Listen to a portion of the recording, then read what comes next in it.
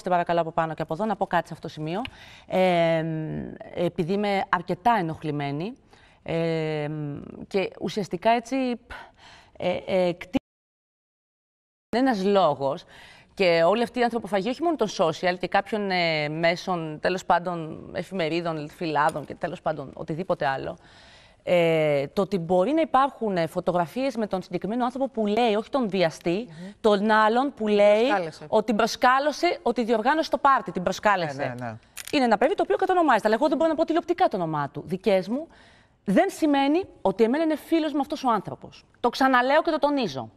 Το ότι εγώ μπορεί να έχω βρεθεί, να γνωρίζω κάποιους άλλους ανθρώπους, να έχω βρεθεί σε μια παρέα κοινωνικά δέκα φορές πριν κάποια χρόνια με έναν άνθρωπο ο οποίος εμένα μου φαινόταν. ε, Τι να πω, ένα βέβαιο, να βγάλουμε μια φωτογραφία, να βγάλουμε.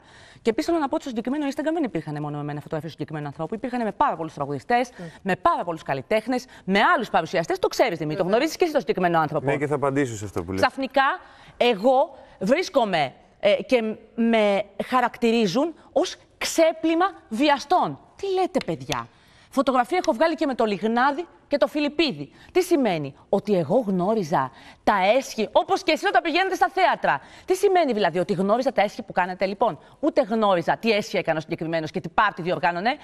Γιατί εννοείται πως εγώ δεν έχω περιβρεθεί, δεν με έχουν προσκαλέσει πουθενά. Εντάξει, μπορεί οτιδήποτε. Δεν λέω ότι φταίει σε κάτι η κοπέλα. Και αν τα διοργάνωνε, γιατί υπάρχει και το κνήμερο της αθωότητας που το αφήνουμε προς στιγμή. Ούτε ότι εγώ γνωρίζω τι κάνει ο άλλος όταν κλείνει η πόρτα του σπιτιού του, ότι δεν είναι κανένα κολλητό μου φίλος. Έχει τύχει 10 φορές, έχουμε βγάλει φωτογραφίες, τέλος σε μια κοινή παρέα. Τέλος. Σας παρακαλώ πολύ, επειδή οι θέσεις μου είναι ξεκάθαρες, μην συνεχίζετε να το κάνετε αυτό, επειδή μπορεί να πουλάει η δικιά μου φωτογραφία. Και στην τελική, να το πω και πάρα πολύ απλά, Υπάρχουν και φωτογραφίες με άλλους. Δεν καταλαβαίνω για ποιο λόγο αυτοί και καλλιτέχνες και πρώτα ονόματα αυτή τη στιγμή να χρησιμοποιείτε παντού το όνομά μου και να λέτε ότι ξεπλένω. Κανένα δεν ξεπλένω. Και αν αυτός αποδειχθεί ότι το έχει κάνει όλο αυτό, να σαπεί στη φυλακή. Και αυτός και οι βιαστές.